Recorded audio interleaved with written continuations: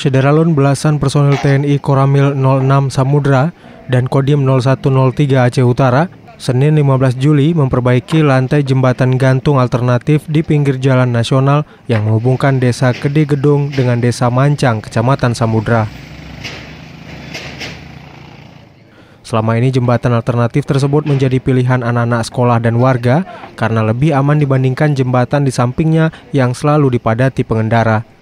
Namun kini kondisi lantai jembatan yang terbuat dari kayu itu mulai lapuk sehingga rawan terjadi kecelakaan.